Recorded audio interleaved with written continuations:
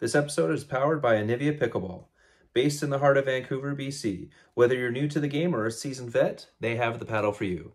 I myself am currently using their Voltex Gen 3 Pro, which comes in both mid and lightweight. A big thank you for the team at Aniviia for taking a chance on me in this podcast. And for listeners of the podcast, if you enter A Gorman 15 at checkout, you get 15% off. Check out Aniviia.com now. That's A G O R M A N 15 at checkout. On with the show. フフフフ。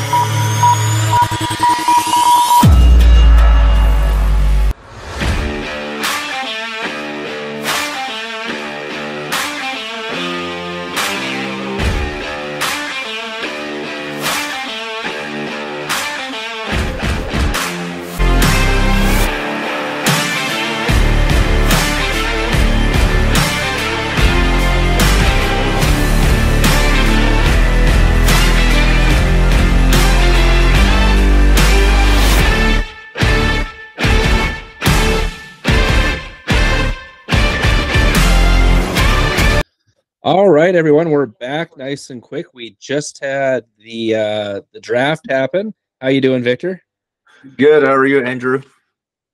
Doing good. A little disappointed that Irene didn't get picked, but other than that, I am okay. Um, so before we do a full recap of the draft, we are going to uh, quickly go over uh, what happened just a, a day before um, the announcement that Leah Bradwell was injured, um, and it's going to be long term. So what they announced was that in the in the spirit of fairness that uh, the um, Smash were going to take her back and give back a pick to the uh, to the Rush. So the way this affected how the uh, the Smash picked is that they already had four players, so they were basically picking fifth and sixth round. So they didn't have they didn't they lost basically their fourth round pick, and then the uh, Rush got two picks in the fourth round, getting that pick back, and then they only had two people to start. So. Um, and then, so what we'll do, Victor, is we'll go over um, if people uh, hadn't realized that each team was picking six players this year, three guys and three girls, unlike last year where it was just four and 4 I got a feeling part of the reason was because of all the issues with finding alternates last year when players were either injured or couldn't make events.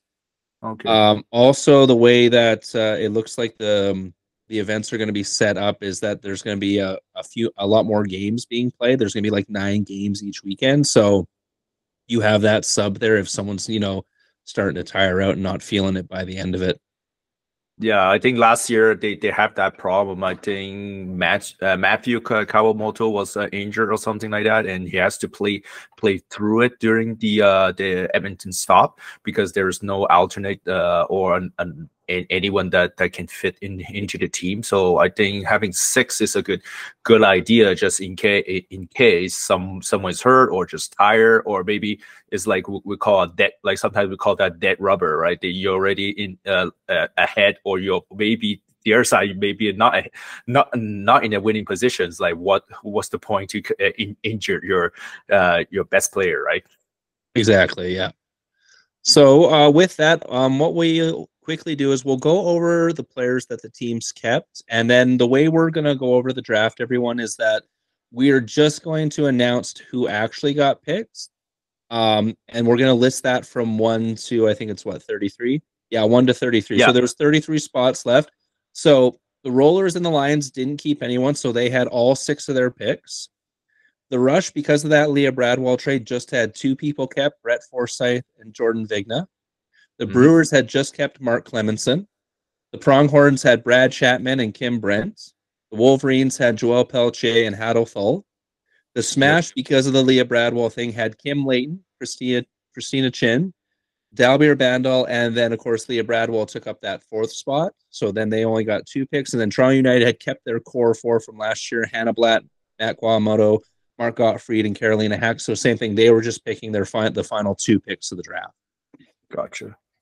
And then starting off, so the Lions and Rollers, because people were keeping um, players, basically what that happened is if any of you have ever played fantasy football, basketball, hockey, anything like that, that basically counts. Keeping a player counts as your first round pick. So the way the first two rounds went is basically Lions and Rollers just rotated back and forth with first, second, third, and fourth picks. So Hmm. right off the hop, first pick for the Lions, and this was no surprise to anybody, um, was Ernesto. Um, he's one of the he's one of the top ranked players in Canada. He was the first player signed in the CPA. Um, he's from Montreal, so and this was a great uh, kind of pillar to set for this team.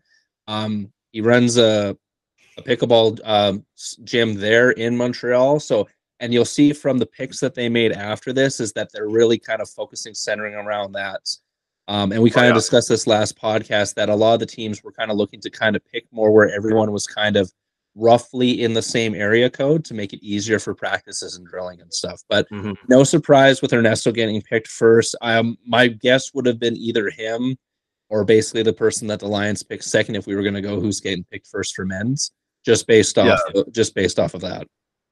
Yeah, but just based off uh, Ernesto's uh, performance in the nationals and uh, uh anything anything else, it makes sense you we want to have him as a, a, first pick anyway. And on top of that, he well he, he he's running what they call the Cote uh, the Cote de Liesse uh, tennis club. That's what what what it's called. It's a pretty big uh, indoor facility, so they can play year round over over there, no problem. So that that kind of makes sense to have him uh, as as the pillar of the of the, of the team. Yeah, absolutely. And then on the set for the second pick, uh, Jessica Kawamoto got picked by the Rollers. Um, so she's back on the Rollers this year again. Um, no surprise, she was the top ranked female going into this. Uh, she played last year, didn't resign, um, but got picked by the Rollers again. Um, uh, just she was just a force uh, uh, to reckon with on the court last year when you watch the CNPL. And then if you look at her uh, qualifier, she went 17 and three. So mm-hmm no surprise there. She was probably, from for my money, probably the top ranked female that hadn't been drafted yet uh, going into this. And so that once again, another great pillar to kind of set down, uh, having a very very strong female to start off with for the rollers. Yeah, it's just interesting why why the roller didn't keep her and then just just redraft her. like, what? Why why did why did you do that? yeah, I'm not sure with that. Um, who knows? Maybe uh, maybe they hadn't uh, communicated proper intentions with uh or maybe at the time when they were resign when everyone was resigning players they weren't sure what direction they were going in so yeah that's so, interesting yeah. and uh yeah i saw uh, that uh, jessica play uh, in the Edmonton stop. I'm actually calling her like the Canadian version of uh, Vivienne David. The way that she she, she can uh, get low all all time and resetting all ball uh, uh with at all all all that all position of the court. So uh, she's uh, definitely a good, great asset for for the team. Absolutely, yeah. And then also another player who signed to the CPA Pro Tour as well. So no mm-hmm. surprise there with that pick. And then look back to the Lions for the third pick, Luis Charles Amat. Once again, this was no surprise for this pick. Um, he had the best record out of anybody um, in all of the qualifiers combined. He went mm-hmm. 18 and 2. Um, um, he's also signed to the CPA Pro Tour. Um, he was one of those players, kind of like Ernesto last year, where they didn't really think that the CNPL was going to be um, maybe something that was going to be worthwhile to get into. And then as soon as the CNPL happened, they were like, "Oh, we got to get into this." And then that's why you saw them going all out in this. Um, uh, yeah, he's he's uh, from what I've heard talking to other talking to pro players and stuff like that. He's a force to reckon with on the court and he showed it in both the men's side and the women's uh, sorry men's side and the mixed side in the uh, qualifiers. Like i said two losses on the entire th- on the entire uh, weekend so. Mm-hmm. and you, we we and I, I did a little bit digging as i i went to check in in his uh, turn uh you can call me I'm a, I'm a stalker but anyway uh, I, I am sometimes for for tournaments in order to know my opponent so he he did uh, what he, he, did play quite consistently in an uh, open category in, in, any tournaments. Last year's uh, he has I think one from all the uh, unpicked um, uh, from all, all the drafting players. He he has the best. Uh, I would say medal rate. He basically almost medal at eight, every tournament. So he has eight gold, six silver, and two bronze. So which is uh, pretty, pretty significant in in the open category. Absolutely. Yeah. And with that pick, like you almost right off the bat have to give the Lions a big foot up on anybody when it comes just to the men's pairing. Oh yeah. Of course, of course, we'll get to that once we finish off going through the draft. But that's already a huge factor with Ernesto and uh, Luis Charles being their their starting men's pair. Mm-hmm. All right, then we go back to the Rollers for the fourth pick. They went with Ryan Torrenson.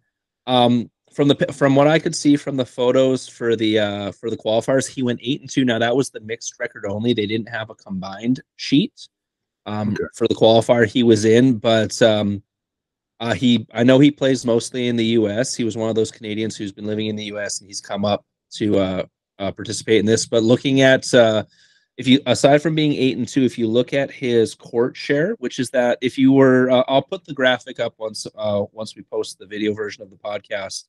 Um, but uh, if anyone, any of you follow me on Instagram, you saw how I posted Irene's rating uh, during the qualifiers.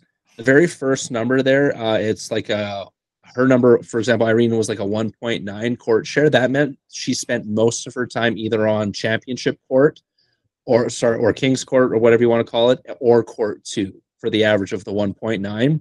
Uh, Ryan's uh, same thing. He I think his average was like a 1.9 or like maybe a 2.0. So he was either on Court One or Court Two the entire time during the qualifier. So, the fact that he still went eight and two in the mixed uh, shows how adept he is at playing at that high level. Mm-hmm. That's uh, that shows quite a bit, and also uh, since he's playing mostly US, I stock him in DUPR. Then therefore, so on du- on DUPR he has uh, five point five nine uh, on there, and uh, usually, uh, so just for for information, uh, the player I give the DUPR numbers are usually the player have played more than 30, 30 games because when there's less than 30 games, I will say even usually DUPR will say usually when you play less than 20 games it's not significant but from my experience you actually need more than 30 games to be actually have a, some sort of significance to um, to, uh, to compare com compare other player with. So uh, this uh, Ryan did have a 5.59, so which which means he, he's pretty pretty strong player. Absolutely, yeah. And then we move on to the fifth pick, and this was the Brewers' first pick, and this would have been in the second round. And they went with uh, Amanda Rosati. Um, if you listen to the last podcast, she was one of the females that I had mentioned of uh, kind of the new yep. names on the block uh, who um, I thought was going to get picked. Same thing. She plays mostly in the US. I want to say she's from like New Jersey. She's living in like New Jersey or something like that, or yep. around that. You're area. right. Yep. You're right. And um, but same thing. Went 14 and seven in the qualifier. So that's uh um and that's combined uh, women's and mixed.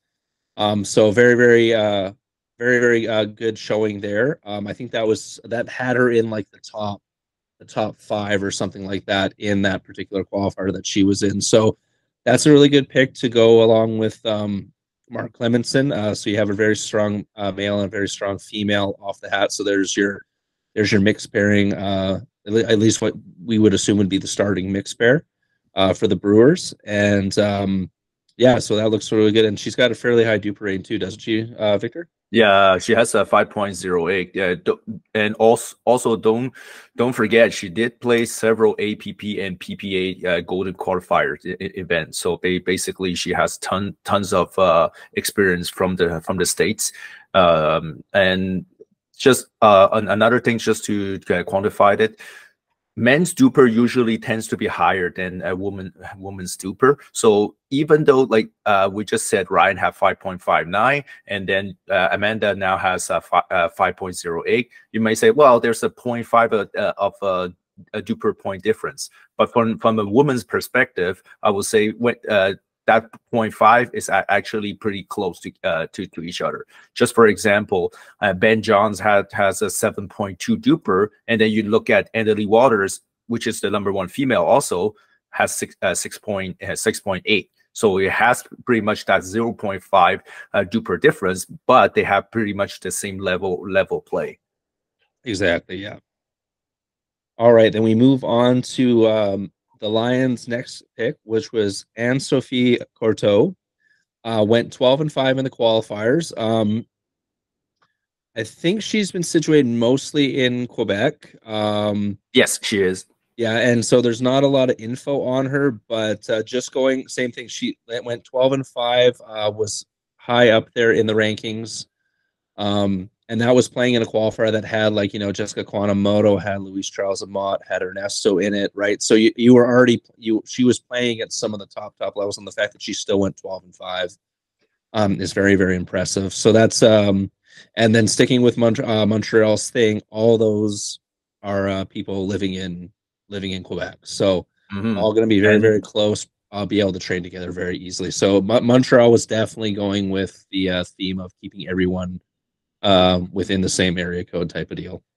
Yeah, and did she did play in some tournament this year with uh, Emma Emma Lee, and they have a pretty decent result uh, from out, out, of it. So I will I will say uh, with uh, her playing also with Emma, definitely um, Emma's not going to play with anyone that that's not her caliber too, right? So there therefore means yeah. that she has definitely good potential. Exactly. Yeah. And then the seventh pick, the Rollers went with Casey Rogers. So Casey doesn't need much of an introduction. Yeah. Uh, played for the uh, played for the Rush last year. Um, was a force on the court. She's currently in Australia, playing in the MLP in Australia for the Vipers. Um, they did have her on the pre-show as well, interviewing her. I don't know what time it was in Australia when she was doing that. I kind of felt bad for her. yeah. But um, that's uh, her and Jessica as a women's tandem is going to be fun to watch. Um, mm. Casey's all about the speed ups and the hand battles. Jessica likes those too, but then Jessica also has the amazing defense to go along with that. So that's that's a very high quality women's pairing uh, right off the hop there for the rollers. So. Mm-hmm. And then moving on to the Brewers, this one was seemed kind of out of left field. Yeah, um, a little, that was Victoria, a little weird. Victoria DeMuzo. So uh, looking at the qualifier she was in, they only had the women's one up. She went four and five. Um, so not a great record there. Um, uh, and then when they said on the broadcast she had only started to play pickleball recently. Um, I don't know what level she's been playing at, but uh, it's interesting that this early of a pick was used on this much of an unknown who didn't have that great of qualifier showing. Yeah, so that was like she went four bit. and five in women's, and then um, that was the same one Jessica Kawamoto was in, and then she wasn't even listed in, wasn't in those top twenty for the mixed. Mm, so wow. um, who knows? Maybe the Brewers uh, have seen her play more often. Maybe she had an off weekend. Um, but this is one of those kind of off the board kind of picks that uh, you and me had been talking about before we started uh, recording. So, um, interested to see how she does. Um, it's gonna be a if she hasn't been playing high high level, this is gonna be a massive jump going from whatever she's been playing at to pro level. So. Yeah.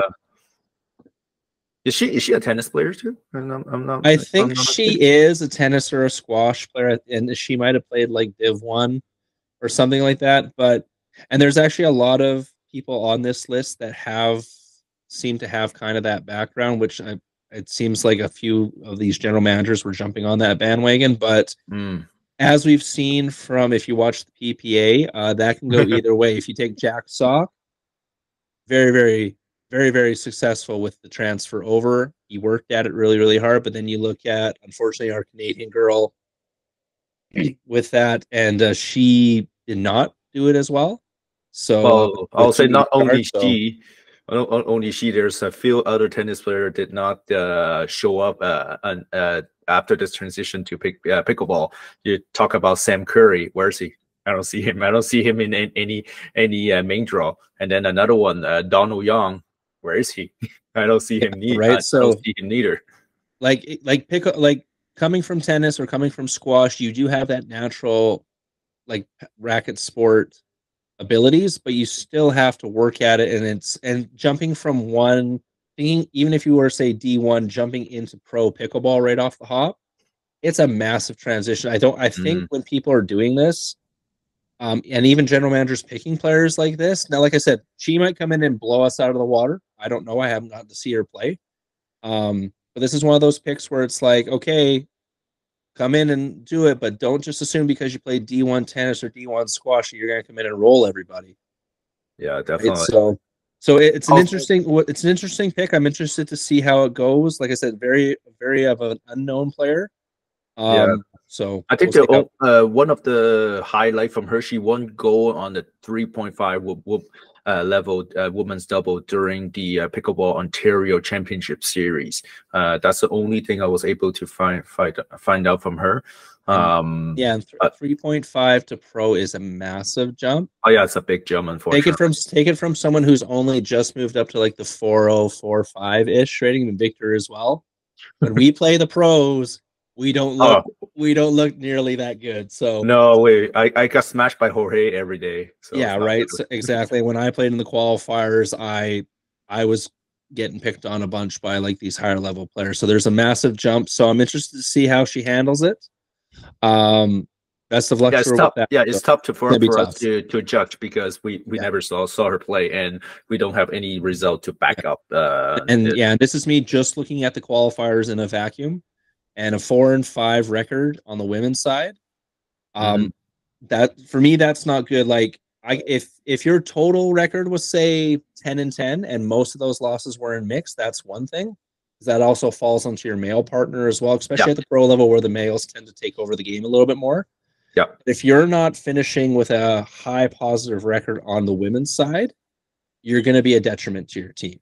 Mm-hmm. Right. People so, will probably pick on you a little bit more. Yeah. Right. Exactly. So we'll we'll see. We'll see. Like um, I won't pass any. I'm I'm skeptical, but I'm not going to pass any hard judgment on her until we see the first uh the first event. So yeah, definitely. So and so then the ninth pick, the Pronghorns got Emily. So she played for the Rollers last year. Very very strong player. Um, she's played in nationals. She's played in open categories. Um, this is a great pick uh, to go uh, with uh, Kim Brent as a uh, female partner. Mm-hmm. Um, you kind of have that. You have like the super experience of Kim Brent, and then yep. you have the youthful, energetic, and talent of Emily as well. So that's I'm interested to see how they play together. And Kim Brent now is actually, even though it says she's from Vancouver, she's actually apparently living in Ottawa right now. So oh, that's not as big of a drive as I as what I originally thought when the when the pick first came up. Mm. So Ottawa is actually very very close to um, very close to Quebec and very uh, and, and not that far of a drive from like Montreal or wherever uh, Emma's mm-hmm. from. So they'll be able to actually um, uh, meet up and uh, train together a bunch. Yeah, and Emily uh, from from that drafting field is the uh, strongest uh, or the most med- medalist uh, woman in, uh, from from by far. She won eleven gold, six silver, and one bronze last year, and she plays uh, mostly in o- open category. So, which really shows her. I just being a little bit surprised she being picked at ninth. Uh, maybe I, I, I would thought she might be uh, picked a little bit higher, but anyway. Yeah, and well, and especially like I thought she might have gotten picked up by like the Lions because I know she's played tournaments with Ernesto. Yeah, exactly. Right. So and like it's not like the Lions didn't have multiple opportunities to grab her. Like like like I said, like between her, Jessica, and Casey, I thought those would be the first three women to get picked mm. out of who's available. But like Jessica got picked right away, but even Casey dropped to seventh. Yeah, so interesting. So it, and, yeah, and Emily's from Montreal too, right? So exactly, right. yeah. So it's not like she was far away. So interesting to see. Maybe she had, I don't know, maybe with the owner last year. Oh no, wait, no, she was on the rollers last year. Never mind. No, so, she was on the rollers, just not. Yeah. So yeah. So yeah. So what, it wouldn't have been anything with the ownership group. So yeah, so that's so it's interesting that she dropped that far down. That's a good pickup by the Pronghorns. So interested to see how that works. Mm-hmm. Then moving on to the tenth pick. So the Wolverines picked picked Sabrina Lamb. Uh, Sabrina played in the Western qualifiers. She had the next best record for women's next to Irene.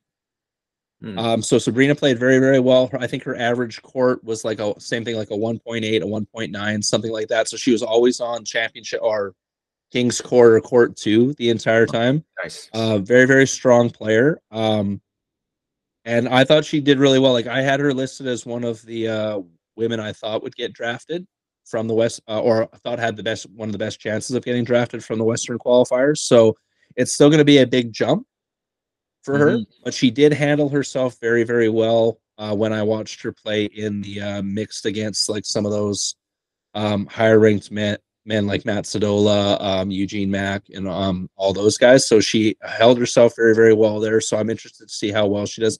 And I'm curious to see who she's going to play with on the Wolverines, whether it's going to be Hato or Joelle. So. Mm-hmm. Yeah, interesting. Yeah, it's good. Uh, it's good that she she actually did well on on the um uh, on the qualifier because she I think in her tournament record she basically mostly played on uh, three five women's and and mix uh, last year. Even even though he she she won two gold, one silver, and three bronze, which is uh, pretty pretty good. And she has a 4.19 DUPR rating too. So uh, which, which is uh, a um, a good uh, good rating for for this. Uh, but I will say we'll see how how big of a jump for her is going to be on uh, in into the team. Yeah, and when your strongest opponent at that qualifier was Irene, that's still yeah. like, and as much as I love my wife and I thought she did amazing, that's still not, that's still a big drop down from when you have to play, say, someone like Christina Chin or Kim Light. Oh yeah, definitely. Right. So, but uh, I'm cheering for Sabrina. Um, I thought she did an amazing job at the uh at the qualifier. So, and like I said, if Irene wasn't getting in, she would have been my next pick for the women. So mm-hmm. on the West. So, uh, uh, shout out to her. So, uh, next we have the 11th pick, and this was the Lions again, sticking with the uh the Quebec theme. Uh, Jay Cristiano Laporte. Uh, she went 12 and 9 at the qualifier, so another pretty good showing. And same thing, her courts share was like in like the twos, like the two in the one. So she was constantly playing on those higher level courts. Mm-hmm. Um, and so yeah, going by going by that, um, once again, Montreal sticking with keeping everyone close so that they can all train together. I'm interested to see how she's going to do. Yeah, she she did play a couple of open category, uh, open and 4.0 category last year. One gold, three silver, and three bonds, which so which is pretty uh, pretty good. Um, and she's also from uh, yeah, uh, is she from Montreal or Saint Jean sur Richelieu? I think she's from Saint Jean sur Richelieu, uh, which is uh, uh, why why why I'm saying that is uh, the there is a military base in Saint Jean sur Richelieu, which is the recruit school uh, from the Canadian Fourth Army. So that's why that's why I know that. Uh, but uh, anyway, uh, not per, uh, th- that information is not very per- pertinent for for us. That's okay. You're just you're just name dropping places. That's good. Exactly. And then for the 12th pick, we have uh, for the Rollers, Matt Sadola. So Matt played for the Pronghorns last year with Brad Chapman. Um, mm-hmm. He's got that amazing two-handed backhand. So even though he's a lefty, uh, he doesn't really have like they, they made the joke last year that he doesn't really have a backhand. Yeah, two-handed backhand is almost just as strong as anyone's forehand slam.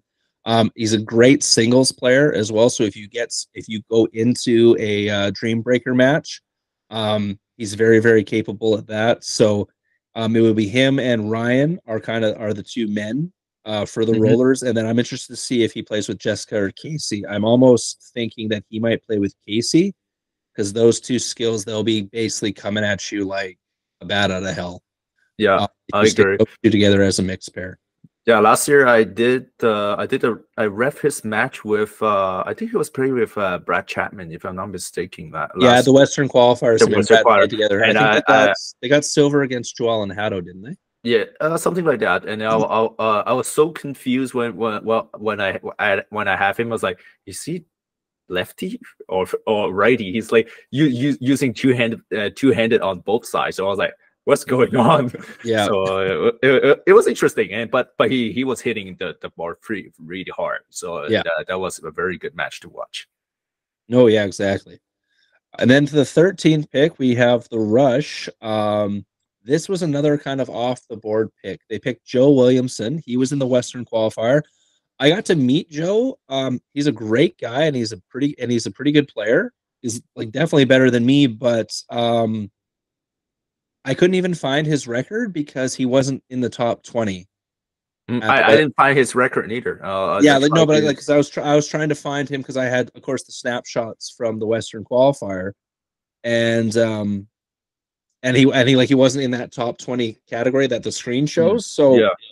I I know I played against him at least two or three times, and I was stuck on for the men's. I was stuck on like court four, court three the entire time and I played I played with him and against him at least uh, more than once. And then I know for mixed, I think for mixed he did a lot better. Like I think he was on like court two, court three, but still, uh, when you look at for him to go this early, yeah, that's a little um, bit surprising. ahead of like people like Nathan Choi, ahead of people like even people at the Western qualifiers who finished ahead of him, like Eugene Mack or uh, Sunny Putar or um, uh, band down. I always forget his first name, but uh, Instagram handles ball um, ball and cuts. Um, they all finished way ahead of him in like um, record and win percentage and on championship court. So um, I know when I talked to him, like I said, he's a very friendly guy. He's very good on the court. He said he had kind of taken a hiatus from pickleball for a year or so. Mm. So I don't know maybe if uh, Brett Forsyth knows something that we all don't.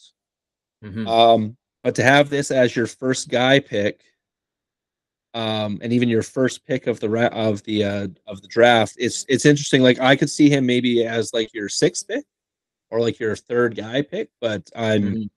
but uh, because at that point when when you're when you're picking your kind of alternate male and female then that's where i was expecting more kind of off the board picks to happen because then yep. it's like okay it's someone who's going to be close someone who you can train with you and then you trust them enough to jump in in a pinch say if someone goes down or if someone can't play type of thing mm. but i wasn't expecting this much of an off the board pick at, at the 13th pick yeah, that was a, that was an interesting pick. Yeah, I'm trying to gather some data from from him on DUPR on on pickleball rackets. Nothing really shows shows up on him either. Yeah. So it's a really tough call. Why uh, why uh, does he get picked? Because a lot of other other other uh, players had either play tremendous uh, uh, amount uh, of tournaments, have uh, some at least some some decent results at, at least, and then that that kind of justify the the, the picks. But him, uh, I'm not trying. I'm trying. Don't want to be a prejudice on on him, but I was like, mm, I don't know anything. Yeah, no, exactly right. So like, and like I said, I got to see him play. He's a very good player. He's very well rounded. He's got power. He's got defense. He can do resets and stuff like that. But like the fact that he played multiple times against me on the men's side tells me that he wasn't winning that much. Yeah, like I said, I was I was clearly like if not the the losingest person on the guy's side, I was like in the bottom two. And I and I knew going into that it was probably that was probably going to be the fact because like I'm 4-0 barely 4-5 at this point, and these people are all like 4-5 5-0s and up, right? Like I was I was going there for the experience. So, mm-hmm. but um, but no, yeah, like he's a great guy, um, very positive on the court and stuff like that. So, but yeah, it's just interesting to see him go this high in the draft. Yeah. Yeah, we'll see. We'll see. we'll, see we'll see. Like like I said, he could he could come in and him and Brett could just surprise everybody and win. Like um, that's why you play the games. It's not a it's not just on paper, right? So yeah, exactly. Yeah, you have all, all, always some surprises. Like same for a lot. Uh, if you look at the U.S. side, the MLP, who thought that Rachel Rohrbacher was that that strong? No one knew that. No, exactly. Yeah. So yeah, so then we move on to the Brewers at the 14th pick. Uh, Mikel uh, Gamons. He went 11 and 8 at the qualifier. I'm not very familiar with him. Um, and this is kind of off of the uh, this is going off of like getting someone from like around the Toronto because I'm pretty sure he's like around the Montreal area or something, isn't he? Something, something like that. I think he's he's from Ontario, if not mistaken. Oh, he's from Ontario. Okay, he's he's from see he's from Ontario, pretty sure. Okay, so double, then he's going to be close to where he's going to be close to where the Brewers are training. Um, but it's, yeah, it's it's interesting that this is the um, this is the this is going to be the second guy. So he's going to be the one playing with Mark Clemenson. So I, mean, I don't know. Maybe he trains with Mark, and Mark knows him really well, and he's comfortable I have a feeling he he he. I think he played a couple of tournaments in Collingwood, if not not mistaken. Yeah. Uh, I'm still it's still loading, but um, I'm get giving you the information right now. But uh, no, yeah. So I, am interested to see like he he he went 11 and eight for um that's mm-hmm. both mixed and men's. So that's that's not that's not too bad of a, a result. And he was playing he was playing in a in a qualifier that had some of the big big names in it. So that's yeah. That's, he's he's from uh, Rockland, on, Ontario. So we mean which means he's from the Ottawa uh, regions. Ottawa. Okay, yeah. So Ottawa Ottawa's not too far of it. Like I'm saying, not too far of a drive. Anyone from Ontario who says it's a long drive, I drive five and a half hours to get to a tournament. That's how far away I am from Edmonton. So I'm sorry, your one and a half, two hour drive is not a long drive to me. So, so uh, for, for, for me, for me, that's barely a day trip. Mm, Rockland to Collingwood about probably five to six hours, I would say.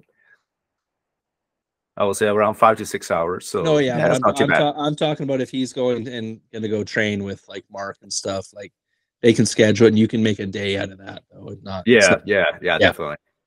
So so that yeah, so that's that's a that's an interesting pick. And then at 15 for the Pronghorns, they went with Jeff Elwood. So he played for the Brewers last year, and he was actually in the very first uh, split they had. He was kind of the standout player. Hmm. Um, very, very good at singles. He's got a lot of power. Um, I'm interested to see how he plays with Brad. Um, because realistically, if it was up to me, Brad Chapman's one of the best players in Canada, and realistically, he should be playing the left.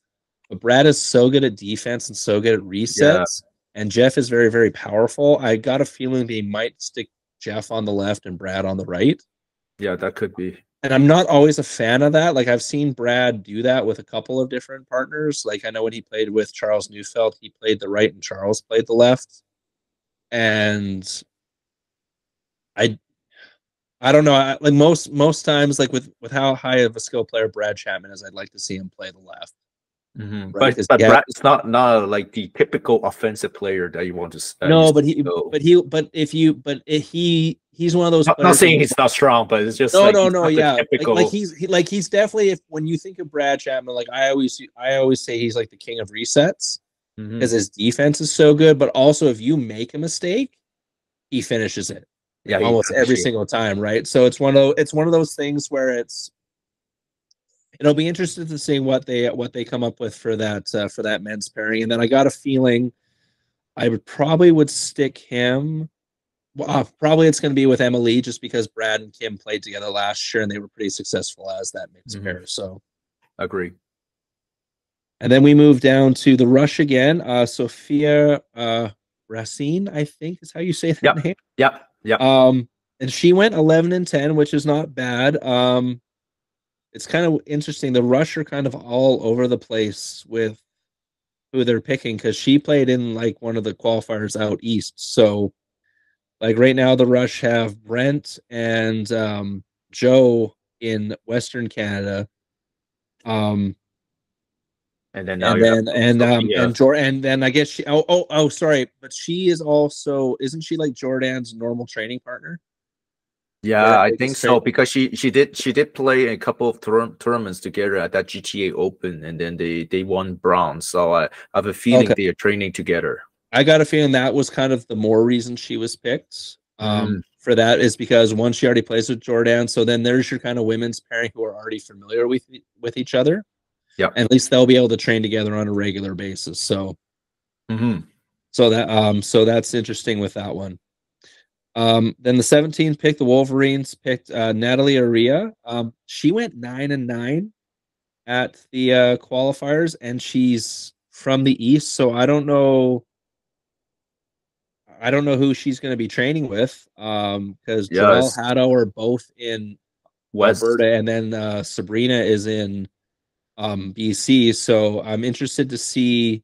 Um, I know she's coming from a tennis background and only just started to play recently. I wanted to say when they announced that she'd only started playing in like January or something like that. Yeah, or like, I, or like last only, year. Yeah, she played a couple tournaments, uh, 4.0 and open tournaments, but like uh like very few tour- tournaments record at this point so difficult difficult, difficult to get uh to say uh how her performance is right now yeah and Nine and nine. Um, I know. Oh, actually, one second. I'm gonna pull pull it up here because I did take. I think I got nine and nine from adding the two together because she played in the same one as uh, Kawamoto here. Um, so for women's, she went five and five, and then four and four in mixed. So hmm. that's not bad, but like I'm one second. What was her court share? 2.5. So she was playing on like two and 3 mm-hmm. court the entire time at the qualifier. So not bad. Um, it's an interesting pick. Um, there was definitely women who performed higher. Yeah. Um, so uh, we'll see. And the fact that she's completely on the East Coast and the rest of the team is on the West um, is going to be interesting for training purposes. Mm-hmm. But uh, we'll, we'll we'll see how it goes. I guess it's going to be her yeah, and Sabrina. Maybe, starting pair. Uh, you, or maybe she she'll be alternate. I don't know. We'll see. Yeah, but if you're gonna, why why would you pick her so early if that's gonna be your alternate?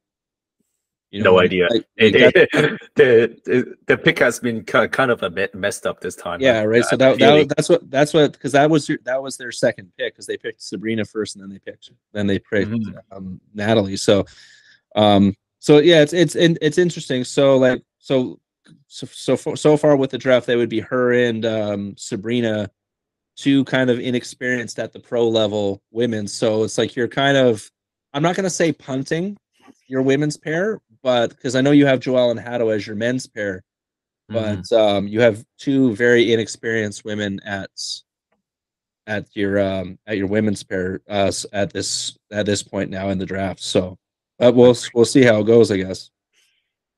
Uh, then for the 18th pick, the Lions went with uh, Antonia Toskova.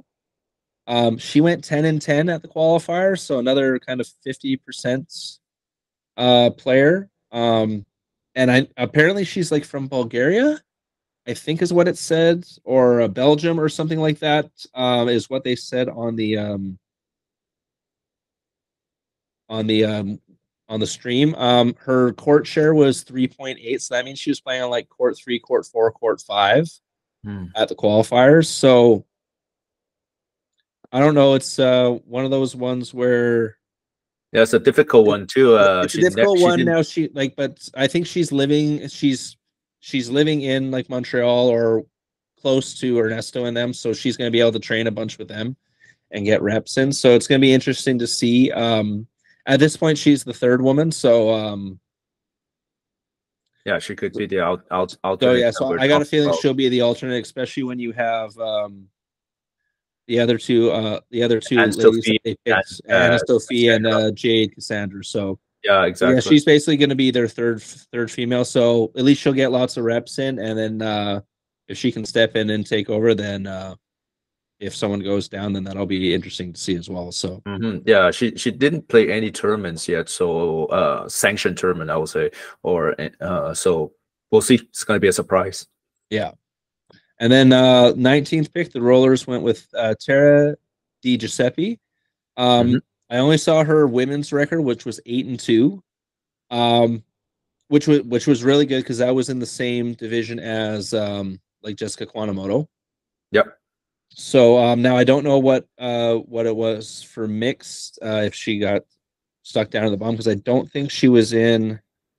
I'm back looking at the. Uh, But she has the decent result. She she got uh, on the Collingwood uh, Classic. She won mix and uh, women's doubles uh, as uh, they got sil- uh, silver. So on a two uh, four and a four point five level. So Yeah. which is uh, pretty. I would say pretty significant. So Yeah. therefore, as a uh, as a I would say that's a strong alternate uh pick. no, yeah, exactly. Like she's like she should be able to pop in with anyone and uh, and at least hold the forts. hmm Um, for the uh, rollers, especially because you're you're going to be behind Casey and Jessica. So, um, yeah. So if if one of them goes down, at least you can kind of pop in and kind of hold the fort for them. Yeah, definitely. And then at the 20th pick for the Smash's first pick, and I can't believe he fell this far down the draft again. Yeah, I- did, I did, did nobody learn anything from last year? Uh, Nathan Short. Ay, ay, Um, ay. so, um, Nathan was probably one of the most standout players last year, uh, playing for the Rush. Um, he was definitely their strongest male player. Um, and then the whole thing with the trade to the Brewers, and the Brewers didn't end up keeping him because of drafts. Um, guess what, Brewers? He was still available. Um, and then you still made three picks before before that. So I don't I Someone don't get I don't get why Nathan fell this low. Um I have a feeling someone forgot about him, and then Kim and Christina was like, "Well, we're, we're picking him now." Yeah, exactly, right? Like like if you look so if with Nathan being picked up, so this is the starting four for the Smash. Christina Chin, Kim Layton, um Dal Dalbeer, and Nathan. You got two of the tallest players in the entire league for the men. Ouch. and Nathan's probably got the hardest smash out of anyone. Um, I'm interested to see what they're going to do for mixed pairs. I'd almost want to Well- stick Nathan and Christina together because that's just going to be a high octane. hmm And then you got Kim Layton, who's like solid as a rock. And then if you stick to Albier with her, that's gonna that's gonna be a formidable team. Hmm no, I, yeah, I can't believe I cannot believe that Nathan fell that low. Yeah, Like, like who? Like why? Why? Anyway. yeah, that's that was Uh, so that's not, confusing. not our deci- uh, our decision, definitely. yeah, but, uh, exactly. That was it was so weird that he fell that low. But uh, I- I think like, what- someone must whatever, have forgot about him for sure. Yeah, But I guess someone I- must just I- forget it. I, guess so. Um, and then 21st pick, the Brewers pick uh, Cal uh, Hermedes. Um, he was seven and three in mixed. Um, I have seen, um, I follow him and he follows me on uh, Instagram. I've seen lots of highlights of him playing. He's a very, very solid player. and um, as the uh, I'm interested to see if he uh, how him and Mikkel fight for that second guy spot. Mm. Right, because um, because he's a pretty good player. I've uh, seen lots of highlights of him, and I know he's played uh, with in tournaments with some of the higher level female players as well. So um, I think he's from that One Health Club in Ontario. Okay. So he plays. He he he just normally playing with like um, uh, Carolina Hack, Mark Gottfried, uh, like a lot of those players he's scrimmaging with all the time. So um, I got a feeling he's gonna he he's gonna uh, do a decent showing, and he's like the third male for the Brewers. So it's gonna be interesting how that works out. yeah, he, he has a pretty good record. He he did uh had he's a silver medalist in uh, on the Ontario provincial. So so which uh, which uh, says a lot if he, uh, in the 4.5 level if I'm not mistaken. So which shows shows a lot in in order to make make make it that far because Ontario has uh, quite a bit of good good players o- over there and be able to make it all the way to sil- uh, to to silver that that sh- that shows a lot of things. All right, and then the 22nd pick with the Pronghorns uh, went with uh, Michael McCaffrey. I got to see him play at the Western qualifiers. He went 11 and 9. Um, he is going to be the third guy, so I can him him as the third male. I can see that that makes sense, but um, like he wasn't he wasn't the top like three, the three or four guys um, at the qual at the qualifier. And like I played against him in mixed um, two or three times actually when we were playing the mix part of it. Mhm. Um, so, but like he's a good, solid player. Um, good shots, good control. So, um, but yeah, as an as an alternate male, um, that's that's a decent pick. Mm-hmm. Yeah, uh, definitely. He he's pretty. Actually, what what he he did is the goal. He he won gold in in single and uh, bronze in uh, men's double in uh, B, the BC provincial. So that's a pretty that that's pretty good in point five level. And he does also play quite uh quite a bit in other uh U.S. tournaments. So uh, in the open category. So mean means uh he he either he's, he's improving dra- uh, drastically also or either he, he's uh, actually playing a lot that we we maybe he has a little off day that that day but uh, Yeah. he actually he, he definitely he, he definitely playing playing a lot Yeah. And then for the 23rd pick, the rush went with Eugene Mack.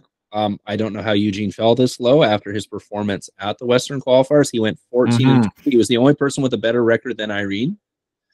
Um, and he was literally on uh, King's Court the entire weekend. yeah that's interesting. Like um like literally only two losses so he was literally playing on court one the entire time. Um the fact that he was the second male picked by the rush surprises me. Um Mhm. i got a feeling um he's going to end up being the um one of the starting guys. Um eugene's a very very strong player. He's got such deceptive shots uh with his uh when uh you're up at the net uh dinking and stuff he's got an insanely um he does like almost like this knuckleball uh, serve return that when it's Mm. coming at you, it's just moving insa- insanely. So, um, very, very good player. I thought he would have gotten picked higher, um, just from his performance at the at the Western uh, qualifiers. So, uh, big shout out to Eugene. Um, and I'm actually also surprised um, he wasn't because he's uh he plays a lot with Sabrina as well. So I was surprised that the Wolverines maybe didn't pick him up as like a as a uh, alternate uh, male. hmm interesting As, yeah he, as, as, as someone to train with Sabrina and stuff, but like I got a feeling he might take Joe Joe Williamson's spot as the second guy on that team. That could be.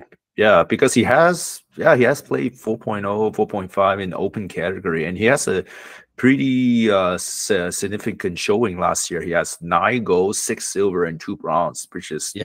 not bad to be honest with you. No, yeah, exactly. And like and I got to and like last year at the qualifiers, I got to play with him and like he's improved like leaps and bounds compared to when I played with him last year at the qualifier. So um big shout out to Eugene. Uh, I think he'll do well. I got to feel like I said, I got a feeling he's gonna take one of those starting spots. Mhm. Uh, then for the 24th pick, the Wolverines went with Sarah DeFore. Um, she went 10 and 11 at uh, the qualifier. So once again, if I'm just looking at this in a vacuum, there was a lot of women that um, Could be better. went higher higher than her. This is the um is this their second female or their uh third female if I'm not mistaken. third third female? So she she's the yeah. alternate. Um but I get I guess she's gonna be training with um with uh, Natalie then because she's also from the East Coast. Hmm. So like you have Joelle and Hato in Alberta, you have Sabrina in BC, and then you have um, Sarah and Natalie over on the East Coast for the Wolverines. So I'm I'm curious. Yeah, that's it. That's makes I'm, I'm curious. To, I'm curious to see how that team dynamic is going to work. Mm-hmm. Um, especially for the women.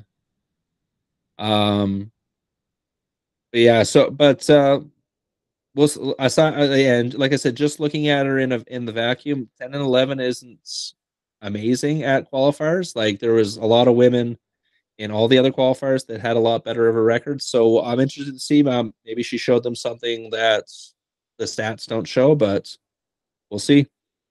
Yeah, uh, she only plays mostly in the open category, but that's it. Not uh, not not a lot other other information on her. So uh, wish her good luck. I'll say.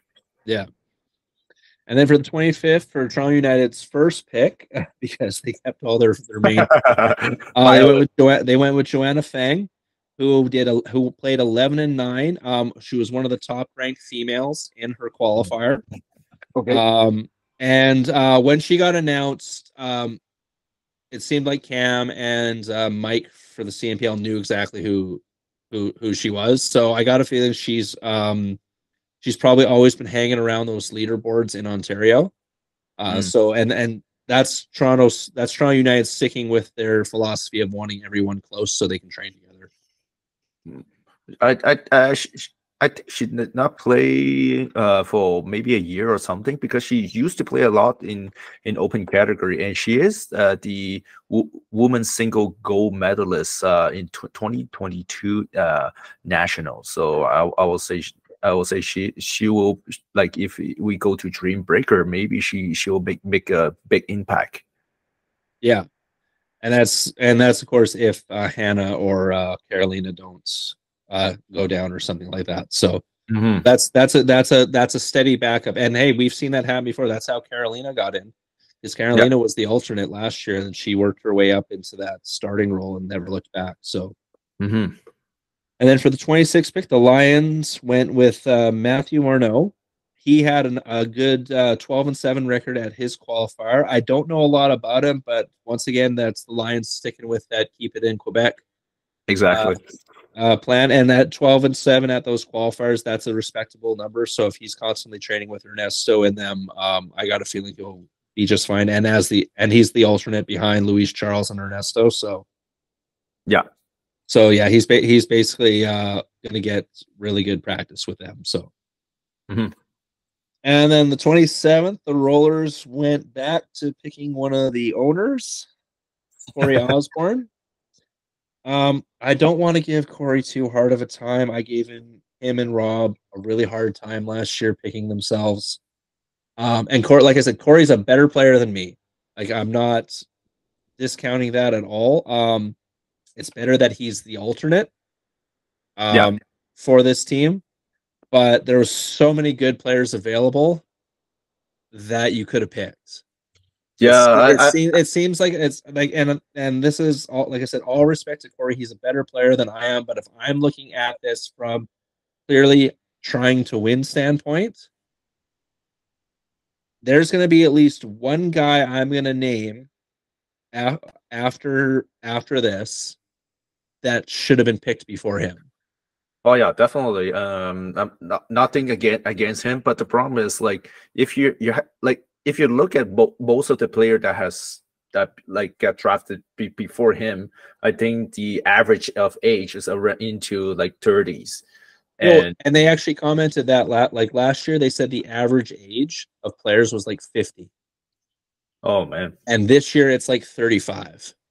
Yeah, so that, uh, that, you, that that's taking all the difference. that's taking all the players out, and that's a big difference. And like you are now old enough, you are now the age of where some of these players could be your kid, right? Yeah, like, would...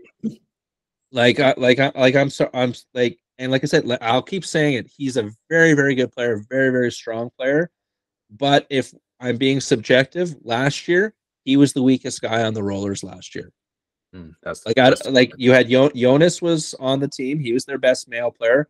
Then you had Rob was better than was better than Corey, and then it was Corey. Mhm. Right? Like if if I, if I'm going to be completely subjective with this, so I don't think that's a good use of a pick when there's so many high quality male players still left on the board at this point.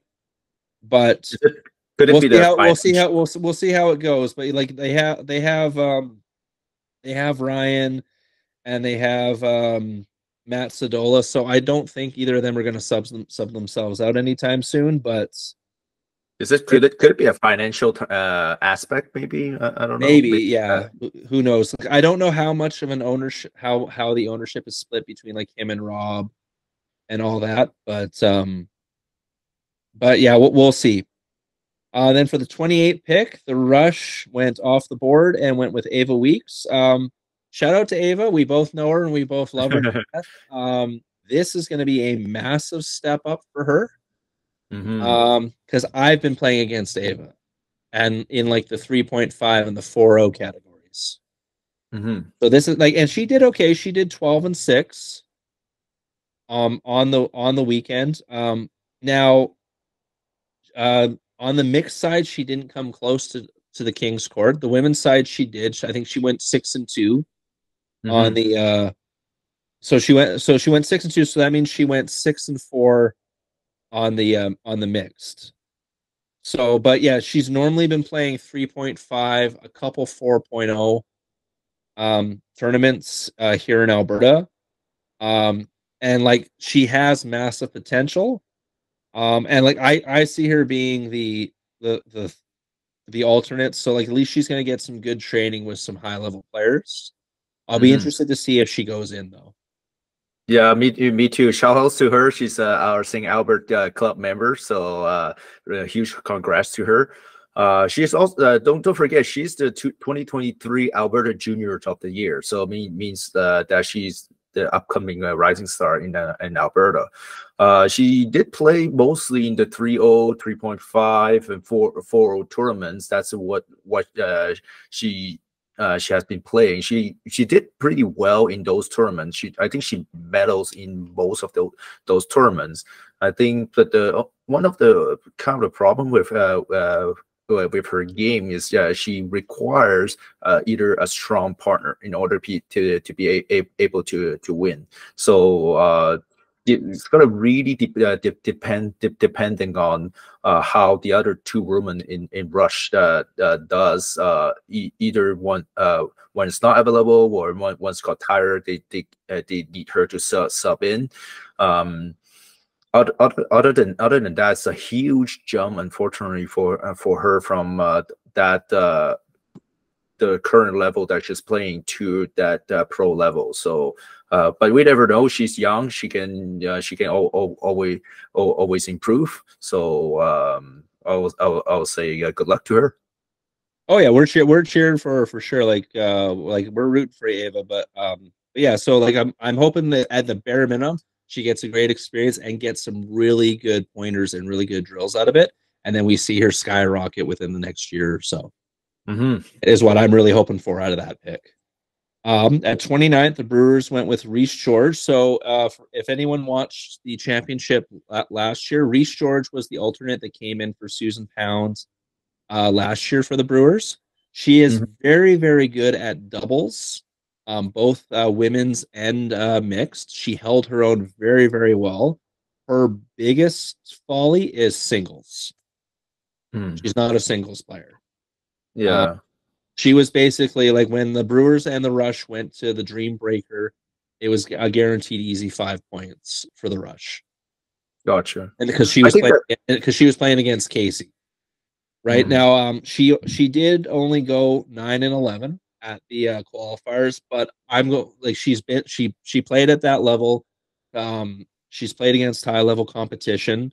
Um, I know she normally plays with or um, with her against a lot of the big names in the Toronto area, like Christina Chin, the Kawamotos, and all them. So, um, and that's that's a decent pick for their um, for I'm guessing would be their alternate female. However, I I'm interested to see if she doesn't maybe take one of those spots. Um, because the Brewers females are um very raw compared to Reese. So at least uh, Yeah. sorry, not, not not the first one. Sorry, I'm I'm forgetting who's on who. Um, not not Rosati, but um Victoria De Yeah. Muso. I got a Mhm. feeling Reese could compete with her for that second female slot. Yeah, I do. I do agree. I think uh, now, uh, wh- while you just remind me, I think that's one of the reason why probably Rush get uh, Ava too, because she she's pretty decent also in sing- single. She can almost outrun men's in in in singles, so that she she could be a tiebreaker for for for Dream Breaker. Yeah, she has to be in though. Is the thing.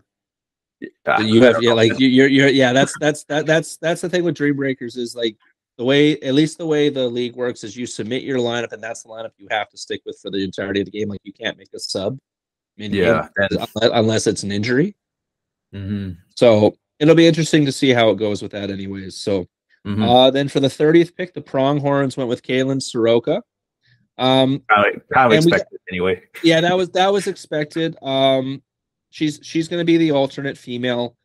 Um, Caitlin did like and like we said last podcast, she didn't have the greatest um qualifiers by uh, and I think by her standards she would say that like she went nine and eight.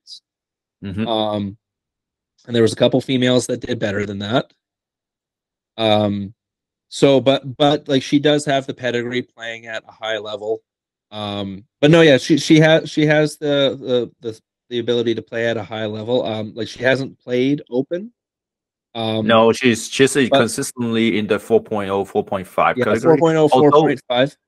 The the Nationals one, I'm gonna put a little bit of caveat with that. There was only three teams in that division.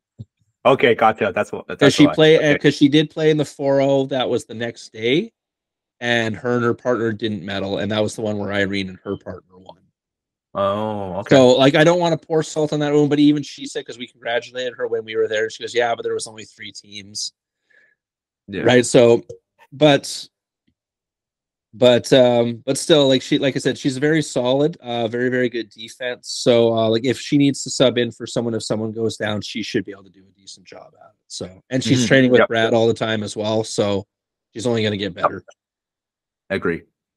and then for the 31st the smash uh for their alternate male went with daiho ozawa so this is asuko's brother Okay. uh, he was at the Western qualifiers. He did pretty well. He uh, went 11 and 8.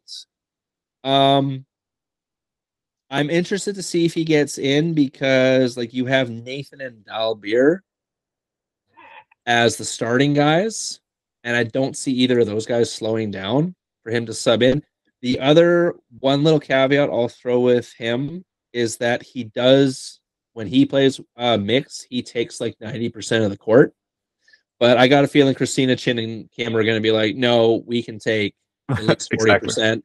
You can stay over there. stay, stay on, on your side. Yeah, you stay on your side. We can take forty percent at bare minimum. Don't worry about Exactly. it. So, but no, but he's a very good player. Um, he's got a very, very good serve return, very good deceptive shots. Um, and even just like I said, even if he doesn't get in, uh, to be able to train, he'll be able to train with Nathan and Dalbeer all the time because they're all from Lower Mainland BC. So all the men will be are going to be able to train together with that. So that's um that's going to be uh, uh that's a very good backup for the Smash. Nice. Uh, 32nd pick was Jonas Dow here. He played for the Rollers last year. Um, I'm surprised uh, he got picked this late. Um, he's been playing a bunch of 5 tournaments in the States um, and doing pretty well, like getting like uh, silvers and bronzes and golds and singles and stuff like that. He's more of a, he's definitely more of a singles first guy.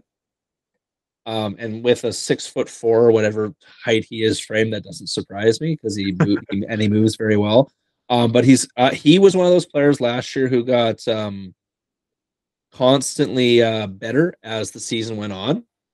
Mhm. Um, so and like as him as the backup for um, for Joel and Hato, um, I got like I said, I don't know if he's gonna get get in very much because because it's Joel and Hato, but that's that is a great substitute to have come in if Oh yeah, one of them go I down. agree.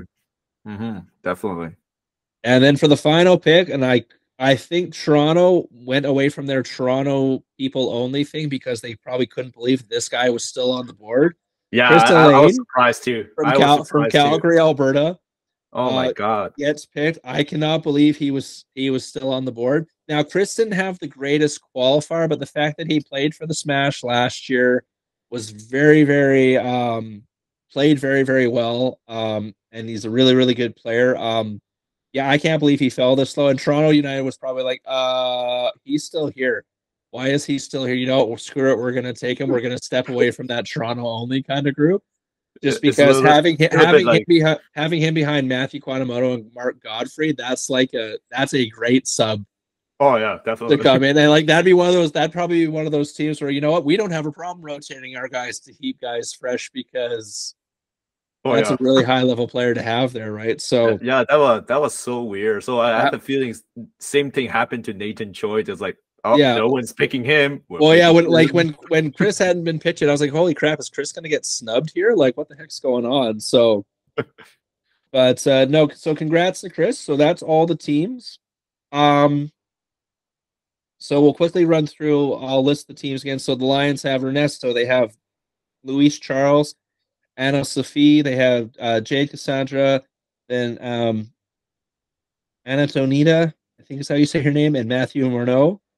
Mhm. And the Rollers have Jessica Kawamoto, Ryan Torrenson, Casey Rogers, Matt Sadola, Tara G. Giuseppe, and then Corey Osborne. Rush have Brett Forsyth, Jordan Vigna, Joe Williamson, Sophia uh, Rican, Eugene Mack, and Ava Weeks.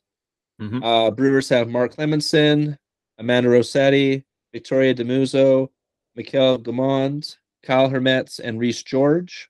Pronghorns have Brad Chapman, Kim Brent, Emily, Jeff Elwood, uh, Michael McCaffrey, and Caitlin Soroka. Wolverines got Joelle, Haddo, Sabrina Lamb, Natalie Aria, Sarah DeFore, and then Jonas Dahl here. Uh, Smash have Kim Layton, Christina Chin, Dalbeer, uh, Bandel, Nathan Choi. Uh, Leah Bradwell takes that third woman spot. We don't know if she'll be back in time for the year because of that injury, but she takes that third woman spot. Then you have uh, Daho Ozawa, and then Toronto United with their core four: Hannah Blatt, uh, Matt Kawamoto, Mark Godfrey, Carolina Hack, and then Joanna Fang, and then Chris Elaine rounding it off. So, time for way too early predictions. Um, I'm I'm- I'm starting one- to put down mine. You, yeah, you. I'll I'll list mine first, Victor, and then you can kind of uh, you can Okay. think about yours. Just because I followed I follow this a little bit more, so I'm a little bit more familiar with some of the players who played last year. Um, my top one and two, and these are kind of interchangeable for me. I can't not have Toronto United at in the one or two spot. Um, they're the defending champions.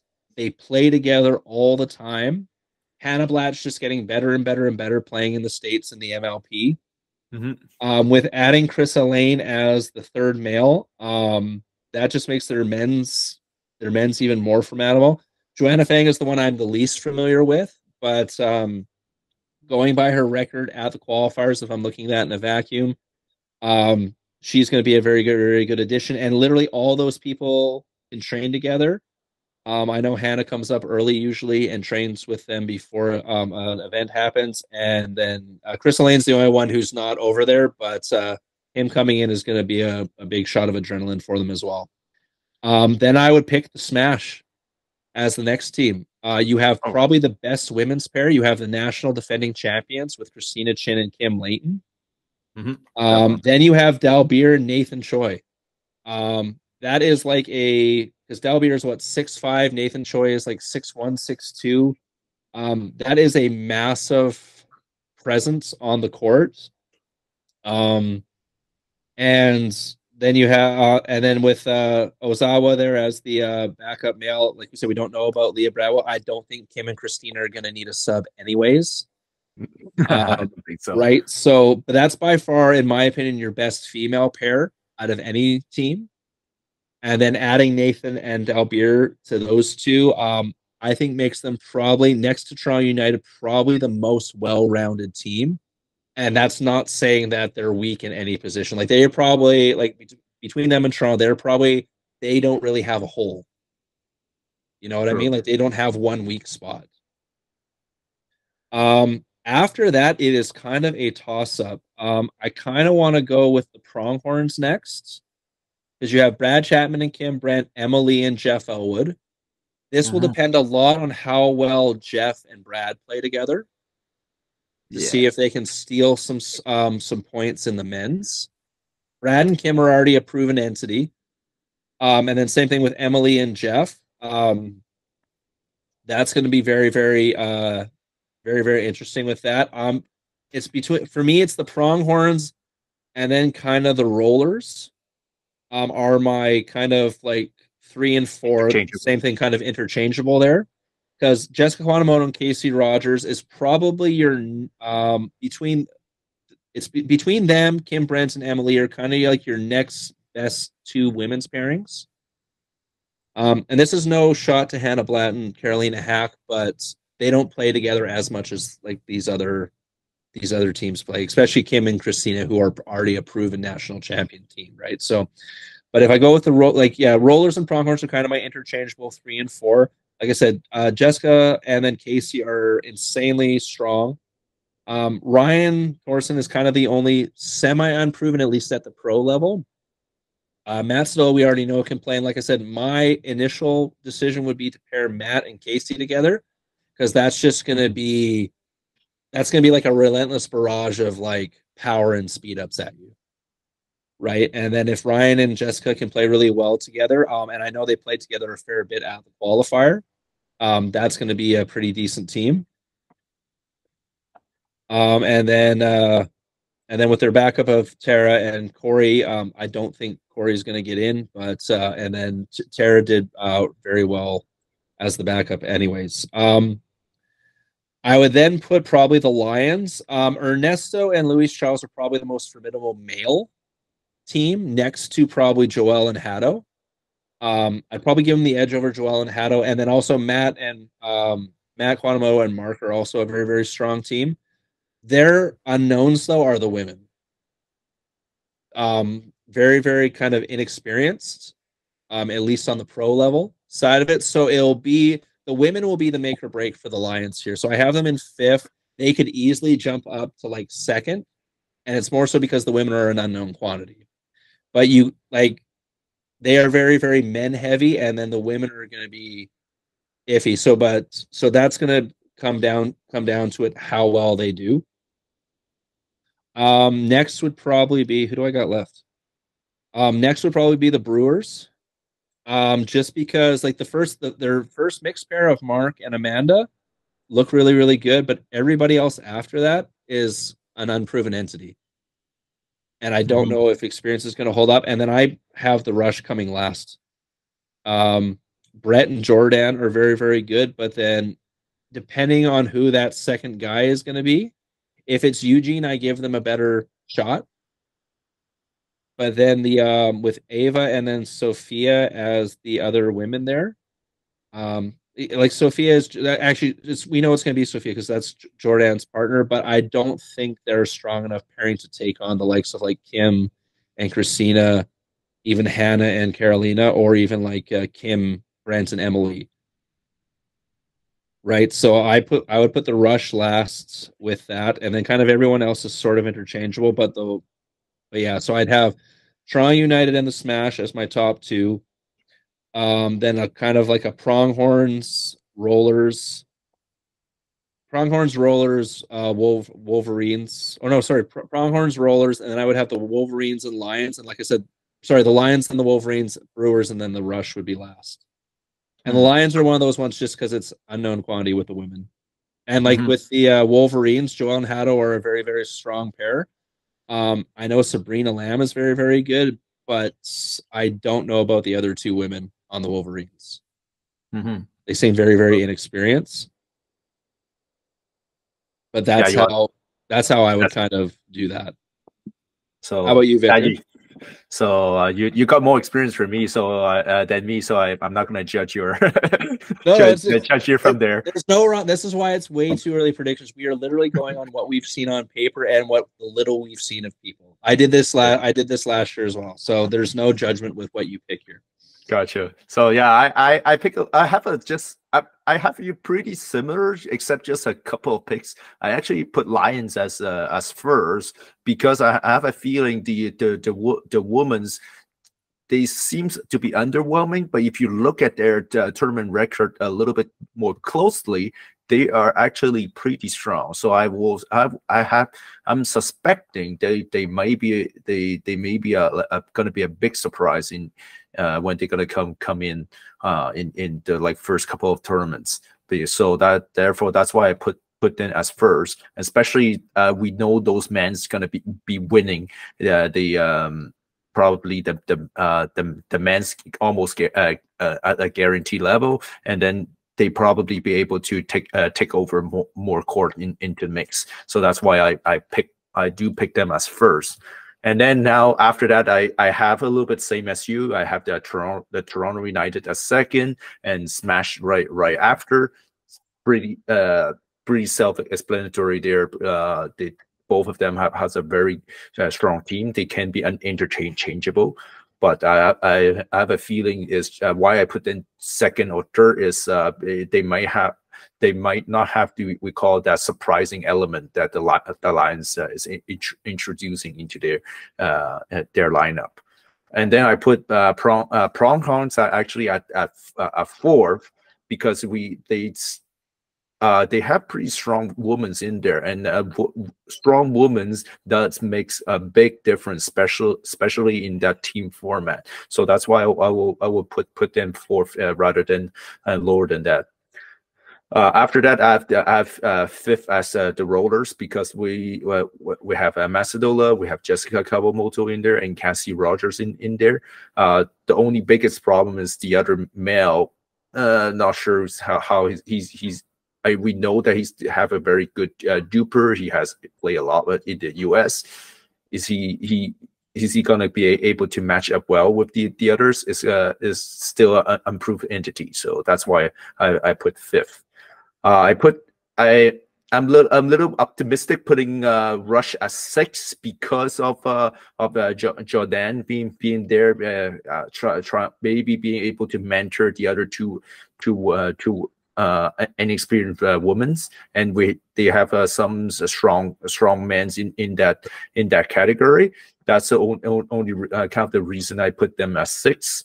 Uh, seven, I put them uh, Wolverine because yeah, they have a good enough man, but the woman's gonna be kind of the iffy side. They're gonna get in in uh, in their group, and uh, when you have a iffy woman in the in your group, uh, you might not gonna be a, a, able to uh, pull through uh, some of the wins. And then I put the uh, Brewers last because it's a little bit all over the place, unfortunately, in in in, in that pick. So um, that that's why I put put them all, all the way down there.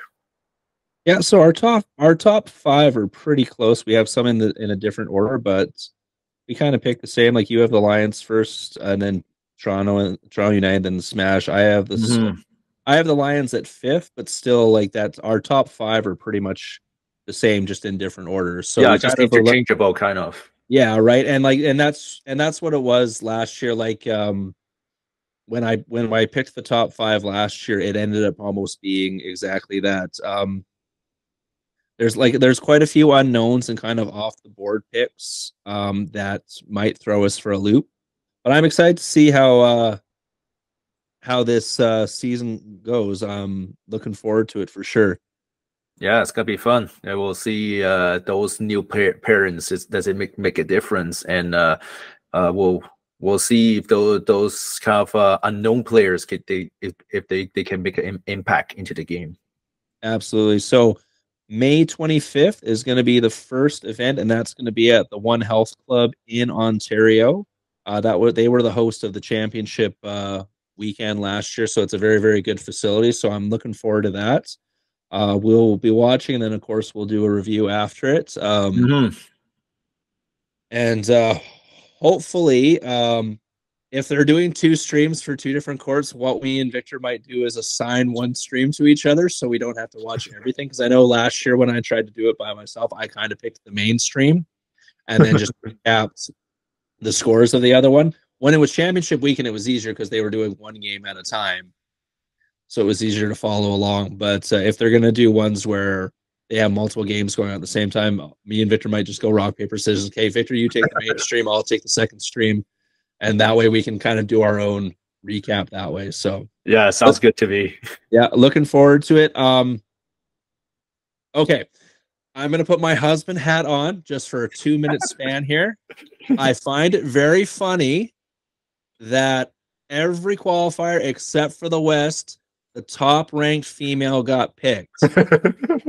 okay, this is me as a husband, not me as an analyst.